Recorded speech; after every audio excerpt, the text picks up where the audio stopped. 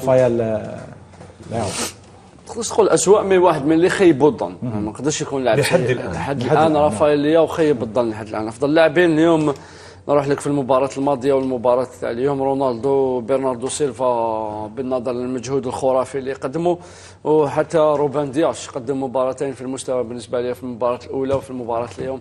كان ممتاز جدا في خط الدفاع. ما هذا الشيء ما بالإضافة أيضا إلى فيتينيا. فيتينيا فيتينيا ممتاز. فيتينيا ممتاز جدا. فيتينيا في المباراة الأولى كان رائع. فيتينيا في مباراة اليوم كان رائع. بالكرة وبدون كرة. حتى أنه في لقطة الهدف الأول نعيد مرة أخرى.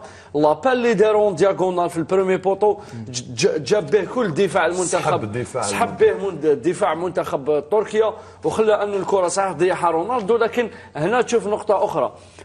les joueurs qui arrivent de les arrivistes متأخرين. المتاخرين اللي لحقوا المنطقة. هنا تشوف منتخب البرتغال في كذا لقطة. دائما لاعبين الثلاث لاعبين. هذا بعد هذا يتابعوا للدخول إلى المنطقة. هنا تشوف بلي c'est pas du hasard mais un travail fait, fait derrière هذا الشيء صحيح آه، شاهدنا المنتخب البرتغالي آه، في المباراة الأولى سجل على الجهة اليسرى وفي مباراة اليوم سجل على الجهة اليسرى حتى وإن لياو خيب الظن إلى حد نعم. الآن ولكن آه، لياو مع مينديس يتحركون في لقطة الهدف تحركوا جيدا آه، محمد نعم. ما ي...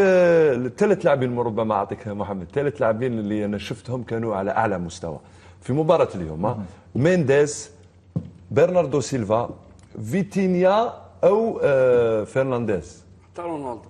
رونالدو أيضا ولكن رونالدو بحاجة إلى هدف ربما لكي يدخل في غمار المنافسة. أنا اللي خيب ظني يعني بكل صراحة برونو ألفيس لاعب نادي مانشستر يونايتد. برونو فرنانديز فرنانديز. برونو فرنانديز،. نعم. يعني اليوم آه، ولو أنه سجل هدف يعني اللي كان آه، ربما يحتسب لرونالدو. ولكن ما قدمش مباراة كثيرة. ما هوش المباراة برونو. ما هوش حتى في برونو المباراة الأولى لم يكن إيه، جيدا. ما هوش يعني اللاعب اللي القائد نادي مانشستر يونايتد ما هوش هذاك اللاعب اللي اللي محتاجته ال- ال- المنتخب يحتاجه المنتخب البرتغالي خاصة الآن المنتخب البرتغالي يحتاج هذاك اللاعب اللي يمد التمريرة الأخيرة نعم. لأنه الدور هذا راه يقوم به فقط برناردو سيلفا يعني محتاج أكثر آه، يعني آه، محتاجين نعم. إمكانيات آه، أبو جليل ماذا حدث للمنتخب التركي اليوم لماذا شاهدنا أداءه آه، يتراجع بهذا الشكل الملحوظ. لماذا؟ شاهدناه غائبا وتائها آه، وغير مركز فوق أرضية الميدان. شوف المنتخب البرتغالي نعاود آه المنتخب التركي. التركي عفوا نعاود أن نأكد أنه الغرور اولا لأنه الناس تكلموا كثير على هذا المنتخب. نعم. تكلموا على هدفين يعني اللي سجلوهم يعني كانوا من أفضل الأهداف لحد الآن في الدورة. نعم. آه المنتخب البرتغالي يتكلموا عليه لأنه آه فيه لاعب الآن جوهره راهي قادمة في في الساحة العالمية هو أردا جولر ضمن هذا الكلام الكثير هو اللي ممكن آه، أثر على هذا المنتخب. ونعاود نعود للطريقة اللي لعب بها المدرب. نظن ما كانتش الطريقة الصحيحة اللازمة اللي لازم تلعب بها أمام منتخب كبير جدا اللي هو المنتخب البرتغالي.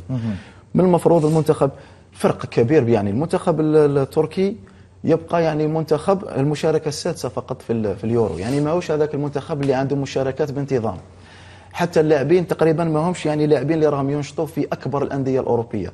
حتى الدوري التركي نقدر نقول نقدر نقول دوري يعني متوسط ولكن ما هوش هذاك الدوري اللي راه يقدم في لاعبين ممتازين. عكس المنتخب التركي المنتخب البرتغالي اللي عنده لاعبين من أعلى مستوى. البطولة البرتغالية أنا نعتبرها من ناحية التكوين هي رقم اثنين في العالم. نعم. بعد ال- ال- البطولة الفرنسية. نظن كل هذه الأشياء اليوم آه، خلتنا ان المنتخب التركي ما ظهرش بمستواه ما ظهرش يعني بال- بالشيء اللي كنا ننتظره. بما أن الخسارة لا تأتي وحدها بل تأتي معها موجا من الانتقادات أرى بأن مونتيلا كانت له فلسفة زائدة بحكم أن المنتخب لا سيما أدى في مباراة جورجيا مباراة أولى وكأن اللاعبين دخلوا في زمام الأمور ولكن يغير أردا جولر أحسن هدف إلى حد الآن في الدورة يغير بتلك الطريقة في مباريات جمع النقاط لا يجب أن تكون فلسفة زائدة. هذا ما كان لمونتيلا والنتيجة رأيناها كلنا. نعم مونتيلا اليوم c'est pas l'entraîneur هذا entraîneur ancien joueur يعرفوا خير من هذه الاشياء لكن مونتيلا اليوم تقريبا قضى على المنتخب التركي في هذه المباراه من خلال من خلال لمونتيلا أطلق النار على نفسه نعم اليوم من خلال لكن هو الذي أعدم منتخب. المصطلح اطلق النار على نفسه لكن تصور لو يقصى المنتخب التركي في نهايه الدوره في نهاية الدور الأول يخرج.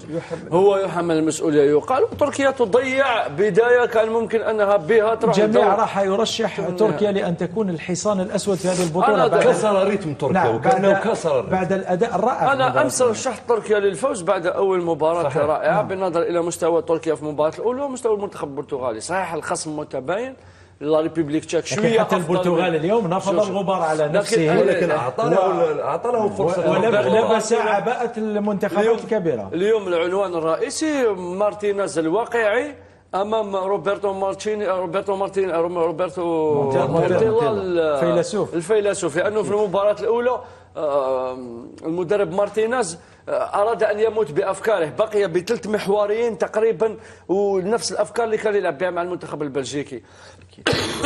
لما جاءته الانتقادات اللاذعه قرر تغيير بعض الشيء من نهجه وعاد إلى الدفاع المسطح بأربع لاعبين. منح نونو مانداش الحرية مثل ما يحصل عليها في ال PSG. كونسيلو الجهة اليمنى دياس رفقة بيبي ثنائي محور إرتكاز برونو فرنانديز كرقم 10 نزع دالوت تماما من القائمة. تغييراته بين الشوطين لما أقحم روبان نيفاس آه، كان شجاع المدرب. نعم. وأقحم بيدرو نيتو اللي جاب إضافة كبيرة مكان لياو. كان أفضل من لياو بيدرو نيتو. آه بقى رونالدو برناردو سيلفا اللي بالنسبة لي أفضل لاعب في العالم من حيث العطاء دون حسابات. c'est le plus grand joueur au monde في la générosité فوق أرضية الميدان. نعم. très très généreux سخي- سخي في العطاء. في- في- في في العطاء ديالو في ارضيه الميدان حتى انه غوارديولا قال لك c'est c'est joyau c'est un bijou يعني وصفه. بالجوهره بالنسبة له برناردو سيلفا لأنه يلعب بدون حسابات فوق ارضيه الميدان يجري إلى غايه نهايه المباراه ما يديرش حساب يلفا يدخل يروح يدخل في الشوك يفيتو تفضل ربما. من الجانب التكتيكي لو نعمل مقارنه صغيرة لما كان برناردو سيلفا مع رياض محرز نعم. رياض محرز لا يمكننا أن نتكلم من جانب التقني الترويض نعم. للكرة ولكن برناردو سيلفا تجده في الخمس أمتار خمسين ينقل الكرة بالكرة بدون كرة الضغط العالي. له متعدد الخدمات. ربما هذا ما كان ينقص رياض رياض معروف عليه لعب جانب الخط والذهاب إلى الواحد ضد واحد. فلهذا برناردو سيلفا كانت له أفضلية من هذا الجانب. رياض محرز لما يكون décalage باللغة العربية.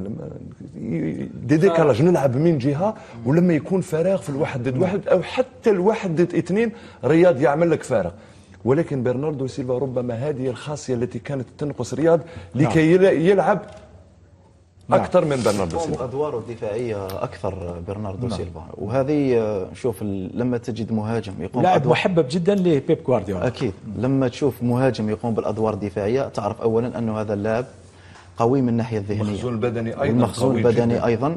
وحتى أيضا من ناحية قراءته للاعب يعني تدخلاته واسترجاعه للكرة كلها من دون أخطاء. نعود للمدرب مونتيلا يعني الشيء الغريب مدرب إيطالي. والمدرب والإيطاليين معروفين بال... بالدفاع. بالدفاع. والعقلية الدفاعية وعمل في إيطاليا. نظن اليوم آه، طمع ربما طمع في المباراة. ولكن تطمع أمام منتخبات أخرى ليس أمام البرتغال تطمع يعني بالطريقة التي يجب أن تطمع أن تطمع بها. ننتظر لأنه مستحيل أنك 90 دقيقة ما تكونش عندك فرصة. مستحيل. مستحيل 90 دقيقة ما تكونش عندك هجمات معاكسه والمنتخب التركي عنده لاعبين يعني عندهم سرعة. من المفروض أنا نظن من المفروض كان آه، ينتظر ويلعب المرتدات. كانت تكون عنده فرص أكبر نعم. وما يتلقاش هذا العدد من الاهداف وحتى يبدأ الشك يتسرب للمنتخب البرتغالي.